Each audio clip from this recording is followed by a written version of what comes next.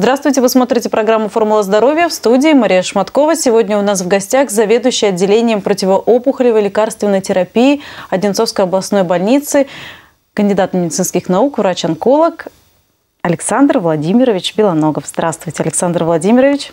Здравствуйте, Мария.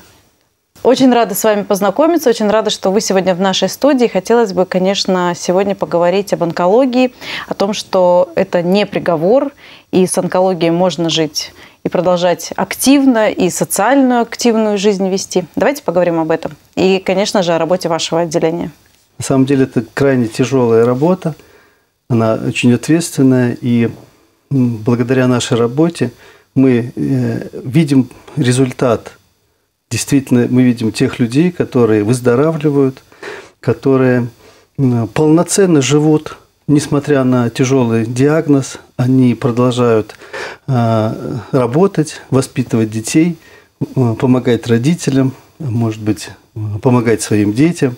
Ну, то есть это та задача, а, ну, которая, наверное, на нас лежит, и мы пытаемся максимально с помощью современных возможностей э, приблизить, наверное, тот, ну, наверное, идеал полноценного здоровья, полноценного счастья для каждого нашего пациента. Но вы согласны с утверждением, что онкология – это не приговор, как принято считать в обществе?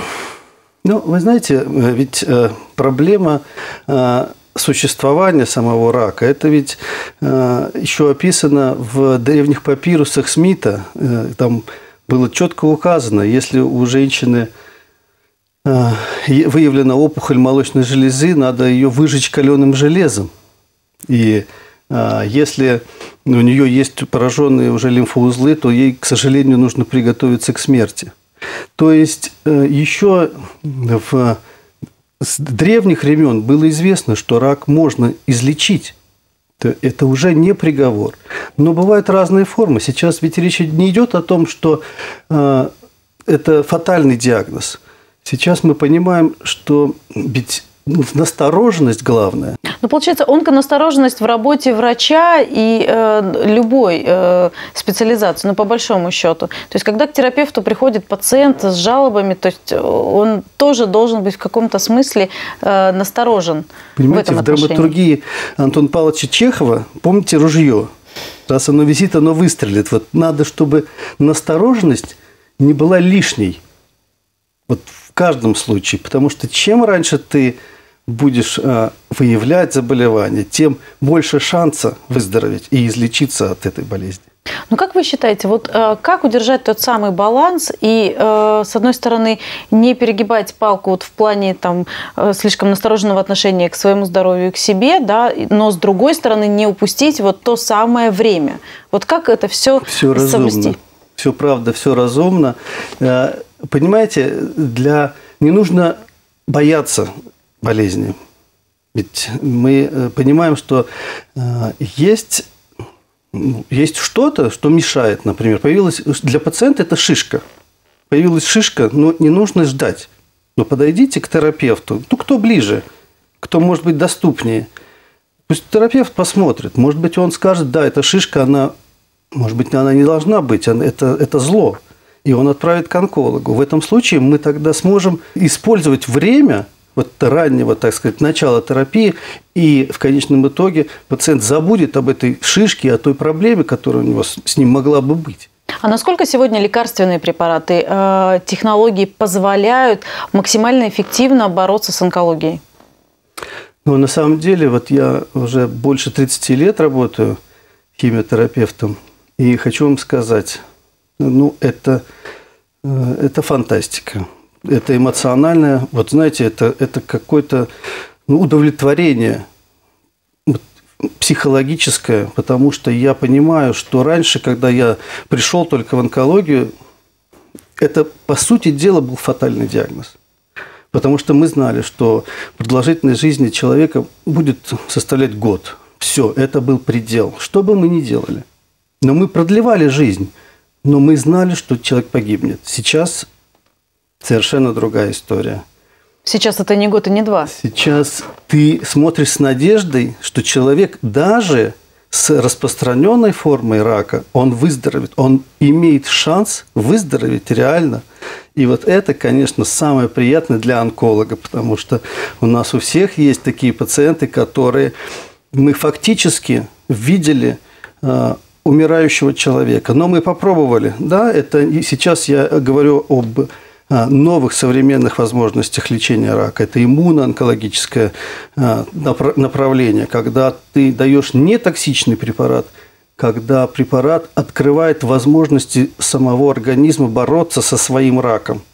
И когда ты вводишь, да, даже тяжелейшему пациенту с, скажем так, уже в крайне тяжелом состоянии, пытаешься ему помочь, вводишь препарат, и он встает. Реально. Это эффект Лазаря, когда ты, э, ну, имея в руках надежные вот эти лекарства, можешь ну, дать и себе надежду, и пациенту.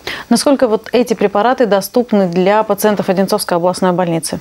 Ну, мое мнение, пробовать надо всем – но, опять же, есть показания, есть рекомендации, есть клинические рекомендации, которые основаны на данных исследований. Получается, что в работе врача-онколога несколько инструментов. И задействован все-таки даже не один специалист, а это целая команда.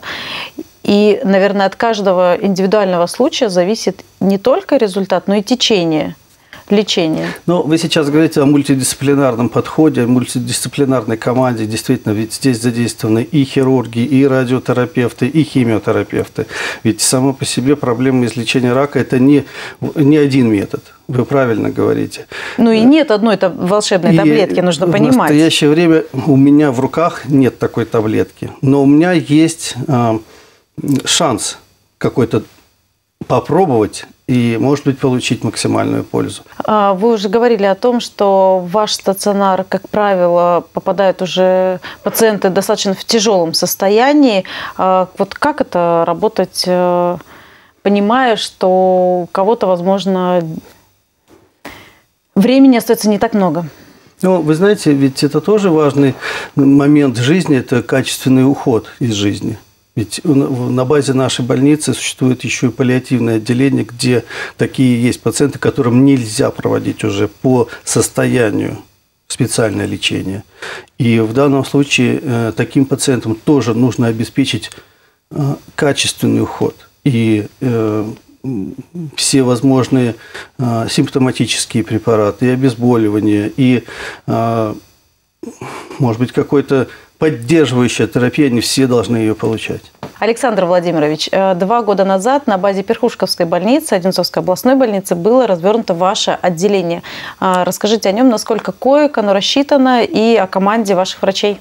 Ну, это на самом деле э, место само по себе удивительное. Да? Оно окружено э, зеленой зоной, где ну, взгляд, может быть, упирается не в здание, а в красивый, э, в лесопарковую зону. Само по себе здание э, построено, мне кажется, на очень высоком уровне. И э, само по себе комфортное пребывание в данном учреждении, на мой взгляд, я работал в разных больницах, но здесь вижу, что есть существенная разница вот именно в комфорте пребывания, потому что есть для пациентов возможность и эффективно, качественно лечиться и при этом еще получать, может быть, позитивные настрои от э, скажем так, от стен, от персонала, от, э, ну, почему бы и нет. Э, в отделении у нас 40 коек, это круглосуточного стационара, 10 коек дневного стационара и 10 коек паллиативного стационара.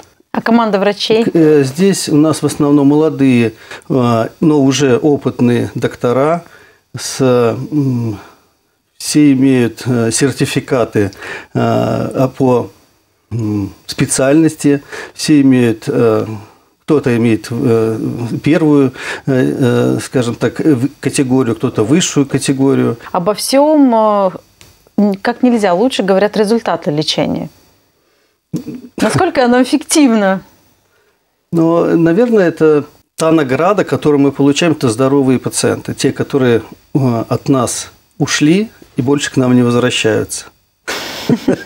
Но это самое прекрасное. Это те пациенты, которые к нам больше не возвращаются. Это, наверное, самая главная награда. Мне кажется, еще несколько лет назад э, все-таки онкология и рак э, ну, примерно равнялась э, короткому, короткой продолжительности жизни и летальному исходу в большинстве своих случаев. Сегодня, конечно же, все больше специалистов говорят о том, что рак – это не приговор, онкологию можно вылечить, и, а если мы эту болезнь обнаруживаем на ранних стадиях, то эффективность еще больше повышается. А, вот чего бы еще вам хотелось? Вы уже сказали о том, что 30 лет вы работаете в этой сфере, вы врач-онколог. А вот вы каких ждете еще ресурсов от медицины, от науки? Что бы хотелось ну, получить? Ну, я вам, наверное, так скажу. Само, э, в терминологии рак – это зло. Да, вот это зло, это злокачественная опухоль. Это та болезнь, которая поражает э, вот каждый, ну, возможен каждый организм. И, возможно, это зло у каждого свое. И я думаю, что в будущем э, все направления будет э, в онкологии основано на персонализированном подходе. Вот у каждого будет изучаться биология этой опухоли, и каждому конкретному пациенту будет подбираться то лекарство, та таблетка, которая будет в, пытаться излечить данный, данную форму рака. То есть для каждого рака будет своя таблетка от ну, это получается моделирование практически да, э, ситуации, а, тканей, клеток и уже на клеточном, да. наверное, да, уровне внедрения э, ну, каких-то веществ. По факту это так, потому что мы подбираемся к данной а, терапии, потому что мы сейчас определяем биологические особенности опухоли. Мы у каждого пациента берется ткань, берется ткань опухоли, определяется ее свойства. То есть свойства рак не бывает у всех одинаковый, он отличается. И мы, изучая эти биологические свойства опухоли, подбираем персонализированную терапию – и в этом случае мы будем максимально, ждать максимального ответа на ту персонализированную терапию. То есть нет э, какой-то универсальной таблетки, но будет подбираться то лечение, которое максимально окажет пользу и, возможно, излечит данного пациента. А, если говорить о маршрутизации пациентов, как она строится? К нам попадают пациенты из э, центра амбулаторной помощи это э, то первичное звено, которое, соответственно, э, направлено на маршрутизацию онкологического пациента. Кого-то отправить на обследование, кого-то отправить на госпитализацию, кого-то отправить на дообследование. У нас существует помимо э, скажем так, первичного звена и лечебного звена, еще промежуточное звено – это онкологический консилиум, где мультидисциплинарная команда принимает решение о тактике лечения этого больного, либо наблюдение, либо активная терапия, либо до обследования. То есть это э, еще один, э, наверное, основной двигатель, который э, указывает, как правильно, да, вот как правильно поступить и как по какому пути идти э, пациенту, чтобы не заблудиться в лабиринте рака. Ну, получается, если раньше жителям Одинцовского округа э, при постановке такого диагноза практически сразу необходимо было искать э, клиники в Москве, э, либо подмосковные э, крупные областные онкологические центры, то сегодня эта помощь э, доступна ну, практически на расстоянии вытянутой руки. То есть ну, рядом с домом. Ну, по большому счету, и практически в стопроцентном а, отношении. Ну, такая ситуация, на самом деле, она должна быть. Это благоприятная ситуация. Наша задача, чтобы, ну, чтобы пациенту было комфортно. Вот сейчас вся тенденция развития здравоохранения, она направлена на пациента. Приблизить здравоохранение к пациенту. Не пациент ищет, куда ему пойти, а Что здравоохранение делать, да? должно прийти к пациенту. И когда в данном случае есть возможность да, пациенту не искать то, о чем вы говорите, не, а, э, может быть, следить за э, какими-то институтами, как продвигается наука, а обратиться, скажем так, рядом дома к специалисту и получить, может быть, грамотную, квалифицированную консультацию. Да, это его право будет принимать решение, где он хочет лечиться или чем он сейчас имеет право это. Но в данном случае после общения с доктором он будет принимать решение. Александр Владимирович, а что бы вы пожелали в завершении нашей программы всем телезрителям? Всем быть здоровыми. Это самое, самое главное пожелание от врача-онколога. Да. Ну и э, все равно, э, возвращаясь к, э, может быть, к самой идеологии, да, вот э, моей специальности, это все-таки, наверное, не чрезмерная, но настороженность. Не нужно бояться идти к доктору, нужно э, найти время, ну, ну, себе любимому и записаться на прием. Сейчас это все не нужно идти в регистратуру, можно делать это дистанционно. Пожалуйста, по времени. Это несложно, но надо иногда уделять внимание себе, себе да. и своему здоровью. Да. Спасибо за интересную беседу. Мы вам тоже желаем крепкого здоровья. Спасибо большое. Вы смотрели программу «Формула здоровья». Берегите свое здоровье и здоровье своих близких. До свидания.